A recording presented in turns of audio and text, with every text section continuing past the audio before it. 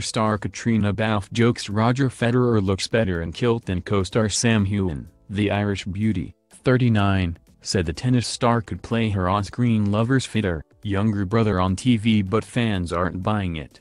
Outlander star Caitriona Balfe has joked tennis ace Roger Federer looks better in a kilt than her on-screen lover Sam Heughan, the Irish beauty, 38, made the surprise claim after seeing pics of the Swiss star decked out in tartan at a charity tennis match. In a hilarious Twitter exchange with her Scots co-star, Caitriona said the Wimbledon champ could play Jamie Fraser's fitter, younger brother in Outlander.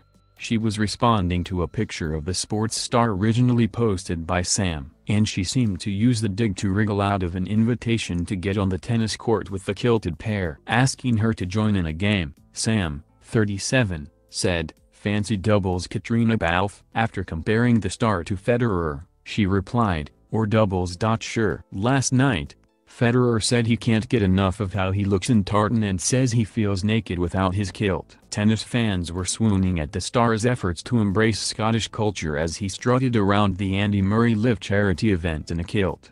But Scots hunk Sam, from Dumfries and Galloway, regularly gets fans hot under the collar in his kilt for his series Outlander and with filming for season 4 underway we won't be short of new scenes showing off his best tartan. Outlander fans were highly amused by the social media spat. Some were keen for a charity tennis match between the pair following the kilt jibe, though most stayed loyal to their man Sam in the who wore it best stakes.